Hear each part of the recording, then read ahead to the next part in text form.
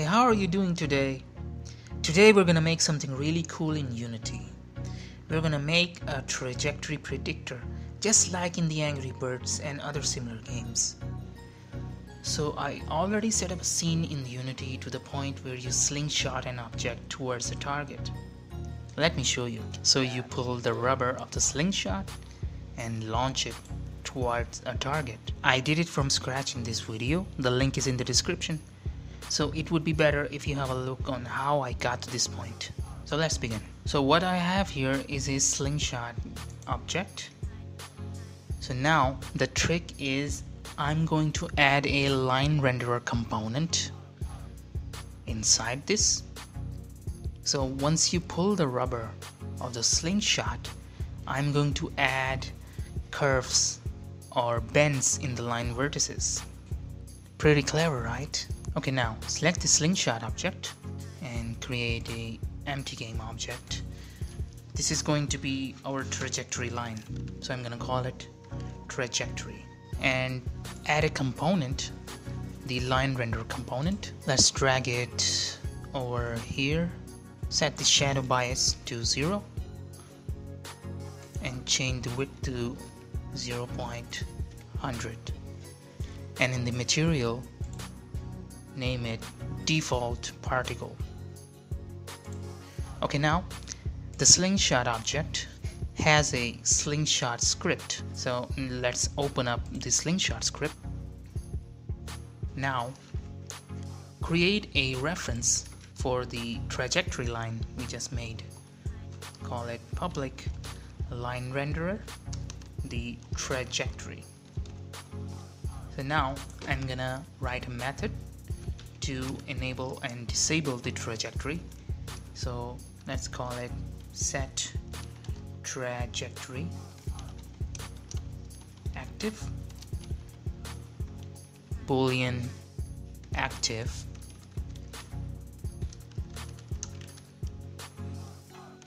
trajectory dot enabled equal to whether it's active or deactive. Alright, so as you know, Slingshot has some multiple states.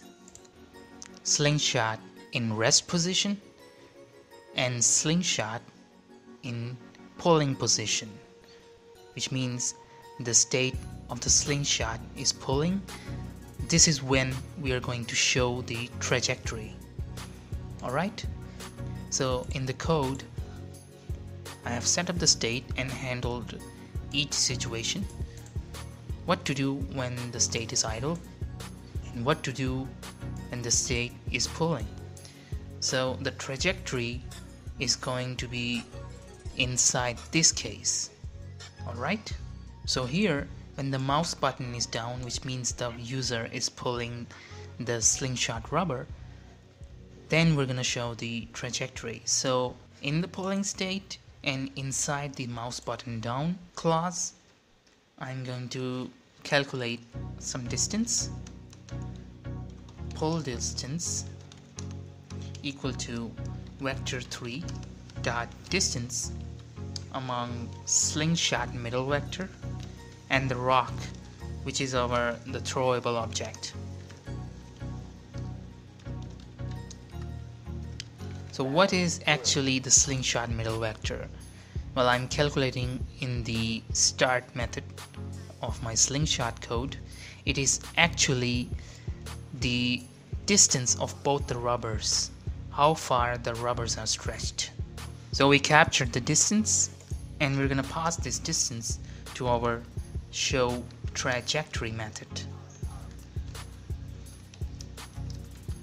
the magic will happen inside this method alright so now let's write this method void show trajectory float distance. So first of all I'm gonna set the trajectory active true.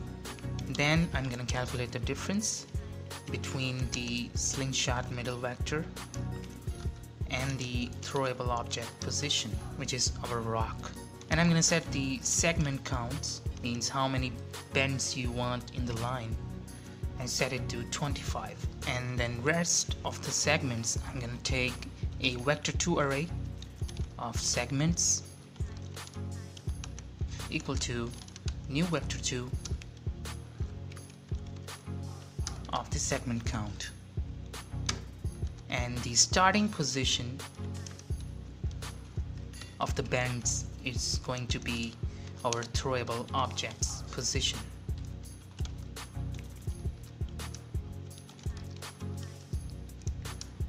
and now how far we have to throw the object I'm gonna calculate the segment velocity. Vector 2 seg velocity to new vector 2 the diff dot x diff dot y into throw speed how fast the object will fly into the distance we passed in our method.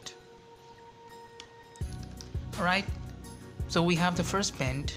It is where our the throwable object resides in the slingshot and the rest of the segments we're gonna calculate inside the loop. So I'm gonna say for int i equal to 1 i shorter than segment count. I plus plus.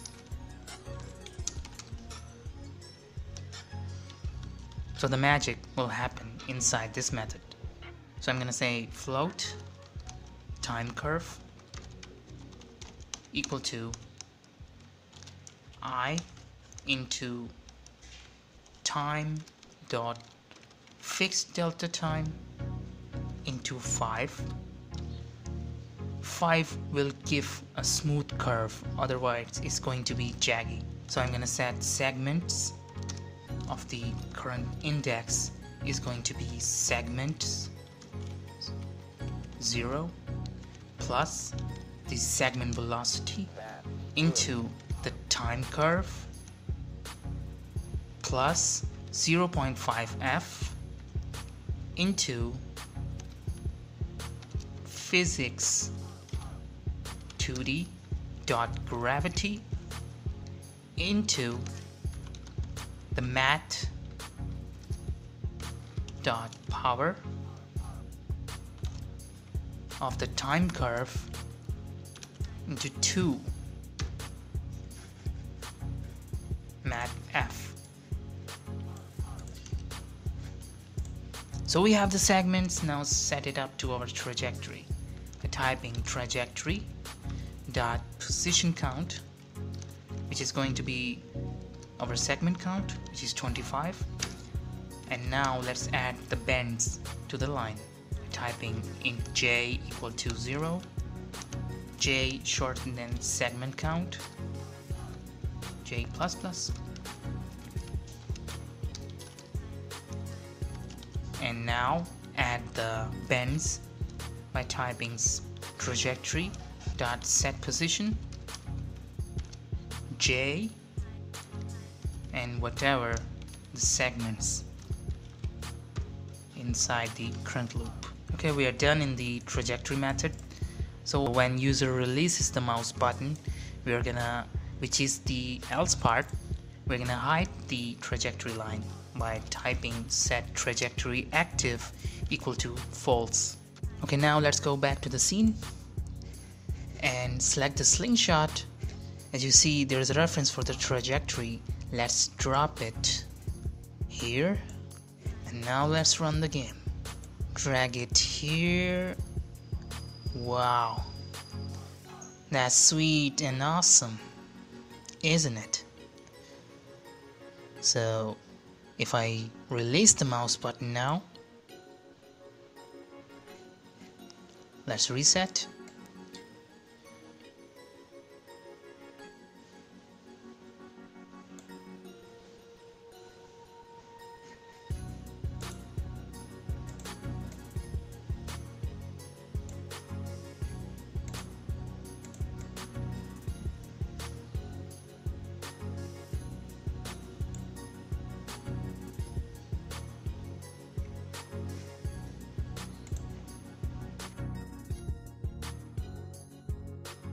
I hope you liked the tutorial. Leave a comment and like and press that subscribe button because in next Unity tutorial we are gonna be doing something really big.